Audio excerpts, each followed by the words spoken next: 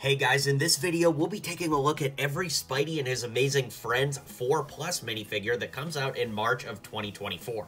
LEGO sent me all three sets early to review, so I'm grateful for that, and it gives us the opportunity to make a video like this. So we're to rank them from the worst all the way up to the best, and let's get into it right now.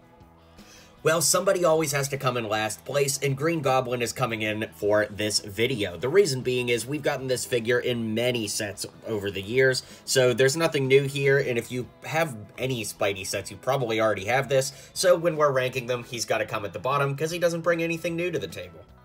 All right, coming in second to last, we've got Gwen in her gold suit. Now, don't get me wrong, this is a good figure. I'm just not a big fan of this style of hood. We'll see another style of hood in this video in just a moment. And overall, I just, I don't know, this figure just doesn't really do much for me. The legs are cool, the torso and head print are great, but I don't know. Somebody's got to be toward the bottom, so here she is. Now, slightly better is the version of Gwen that has her web wing arms, which looks good, and she has the old style of hood that I like better. The torso and legs and head are exactly the same, we just get the, you know, unique arms on this one as well as the different hood, which I do like a little bit more, so it's going to rank slightly higher. All right, Miles is up next. This is a really great figure with the black legs. Finally, they gave the Spidey Miles black legs, and I really like all of the gold, you know, detailing on the eyes and the torso. I think this figure looks really, really great, and I like this one a lot. It's actually probably my favorite 4 plus Miles we've gotten ever, so something to be said for that. Alright, up next we've got Spidey, and I'll put TRACE-E with him since they always, you know, arrive together in the sets. Now that being said, this Spidey is very cool with the gold detailing that the previous two heroes had. It's just, I don't know, I just don't like it quite as much as the others, so it is really cool. Of course, TRACE-E is a nice little addition there, and this head is going to work great for an Andrew Garfield Spider-Man custom, so stay tuned for that. All right, in third place, we have Electro. Now, we've wanted a LEGO Marvel Electro for a long, long time, and we finally got it, but it is the female version of Electro from the Spidey and His Amazing Friends TV show, which is a bit of a letdown because, you know, we all want the classic comic book Electro, but I think that this can be modded to get us what we need, so stay tuned for that. I'll have a video coming out shortly on how to do that. But yeah, it is cool to get Electro finally, and I definitely like this one.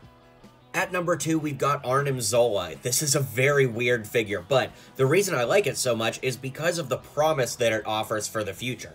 If you look, the way that the headpiece is made is very, very unique with a stud on top, and basically it just sits on top of a minifigure torso, so because this piece now exists, I really think that they could do a better Zola based off of the comics in the future. Also, as an honorable mention, we do get this little Zola drone with a gun and the wheels and stuff, and while I don't know if this actually counts as a minifigure per se, I do want to give it a shout out here and include it in the list for today.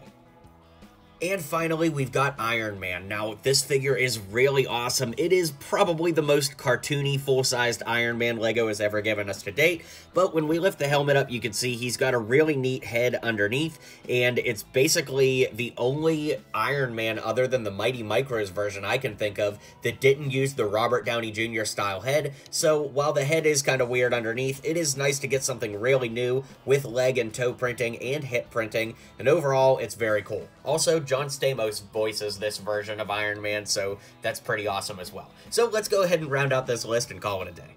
Alright guys, let me know what you thought of this video in the comments down below. Let me know which figures from this wave are your favorite, and if you plan on picking up any of the sets.